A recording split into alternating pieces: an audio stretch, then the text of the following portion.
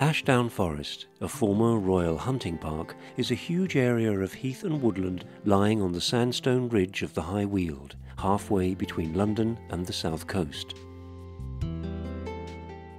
The High Weald is one of the most wooded areas in the UK, but over the centuries, the commoners have maintained areas of heathland on Ashdown Forest through a combination of firewood collection, grazing, bracken cutting, and burning.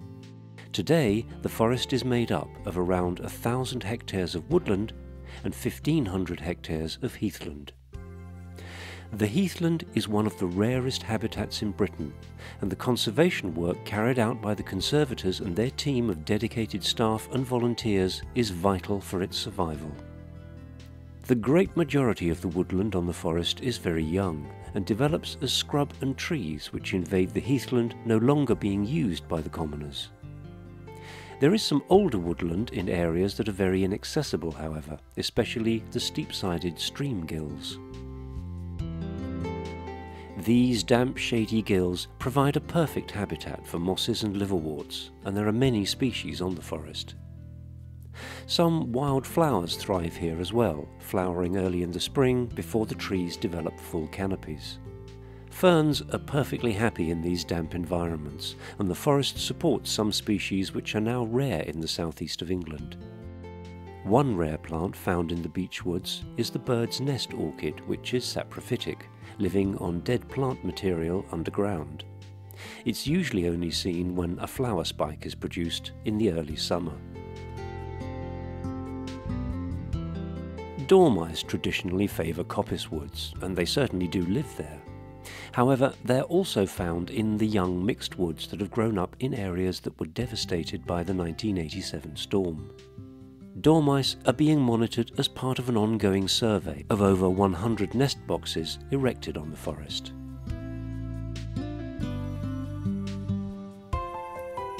The many deer which live around the forest spend most of the day browsing through the woodland, only venturing onto the open heath once the visitors and their dogs have gone home.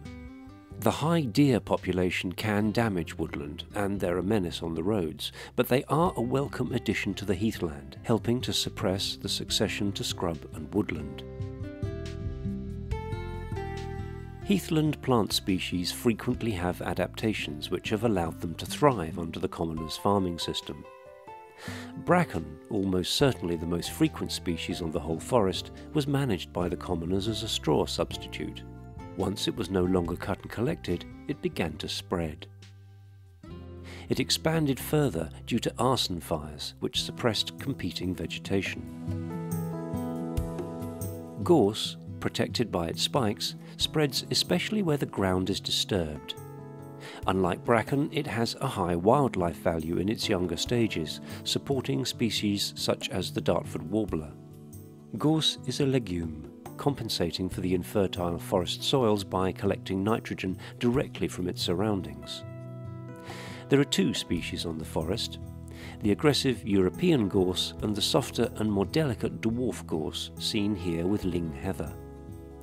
Though somewhat protected by its spikes, gorse would have been an important nutritious food for the commoners' animals in the winter. Gorse and bracken both prefer a somewhat drier habitat, where they're joined by plants such as bell heather, heath milkwort, and sheep sorrel. Other species thrive only because grazing animals help to suppress their more vigorous but palatable neighbours. Marsh orchids and marsh gentians cannot compete with the ubiquitous purple moorgrass, but survive very well when sheep and cattle graze the grass down to a less competitive level.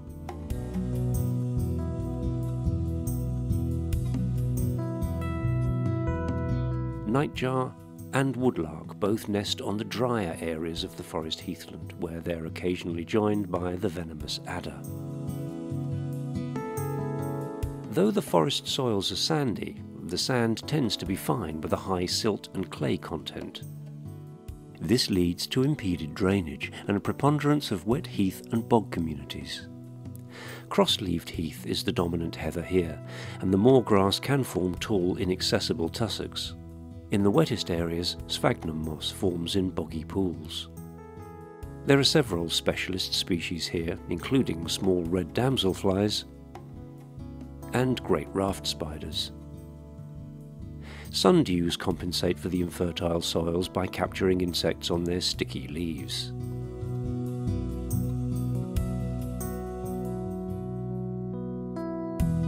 So, these unique and complex woodland, heath and bog environments are under threat. And to protect these habitats, the conservators depend on grant funding and support from outside sources, such as the Society of the Friends of Ashdown Forest. The Friends was formed in 1961, and for over 50 years, through voluntary efforts, they've helped in the conservation of the heathland, encouraged education of the importance of the forest, and raised funds to supplement the efforts of the conservators.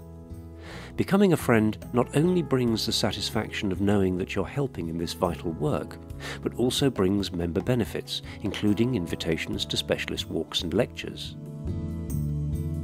Over the years, our ways of life have changed beyond measure, and today many commoners don't exercise their rights over the forest at all, and the habitats will disappear unless we continue our conservation work.